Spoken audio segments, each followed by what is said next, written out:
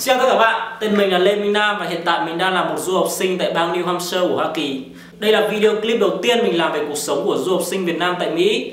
Và mình làm những clip này với mong muốn được chia sẻ với các bạn những thông tin bổ ích về cuộc sống của một du học sinh Việt Nam tại Mỹ cũng như nền văn hóa nơi đây thông qua góc nhìn của chính bản thân mình. Và mình hy vọng rằng sẽ nhận được nhiều sự ủng hộ và trợ giúp của các bạn để mình có thể tiếp tục làm nhiều video clip hơn về trong thời gian tới.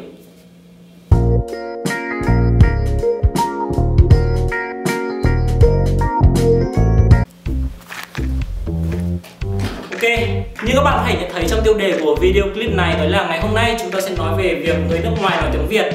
Có một điều rất thú vị mình nhận ra đó là khi mà chúng ta học tiếng nước ngoài cho dù là tiếng Anh, tiếng Pháp, tiếng Đức, tiếng Tây Ban Nha hay tiếng Trung Quốc thì một trong những điều đầu tiên chúng ta muốn học đấy là cách chỉ bệnh. Tuy nhiên các bạn đừng nghĩ rằng chỉ có sinh viên và học sinh Việt Nam mới thích học chỉ bệnh nhưng bạn sinh viên và học sinh nước ngoài mình biết cũng không phải là một ngoại lệ. Nam ơi, dạy tao chửi bậy em tiếng Việt cái.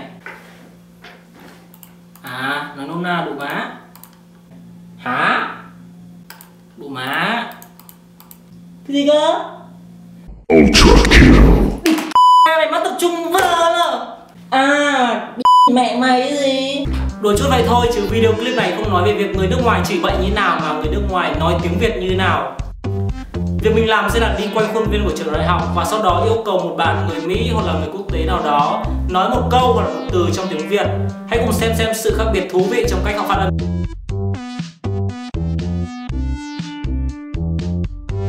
Tên tôi là Michael. Tôi là Russian. Tôi không biết nói tiếng Việt. Tôi yêu tiếng Việt.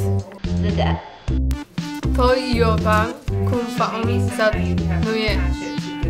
Shall we say? Tôi yêu Anna Sweet. Tôi yêu bóng bàn. Tôi tại lại. Ciao Boy Chill. Tôi yêu Kobe Sawyer. Tôi yêu đại học. Du morgen bitte ein Bad. Bad sang. Oh, get up sa now. Vân Hà tuyệt vời. Tôi yêu Việt Nam. Chào chị ạ. Xin chào, tôi thích thức in Việt Nam. À, bien mi la gue đi tôi với nhé Tôi yêu Việt Nam. Tôi yêu Việt Nam. I love you Nam. Video clip đầu tiên của mình đến đây là kết thúc và nếu như các bạn muốn nhìn thấy mình xuất hiện trong các video clip sau thì hãy bấm like hoặc subscribe để ủng hộ mình. Và hẹn gặp lại các bạn trong các video clip tiếp theo.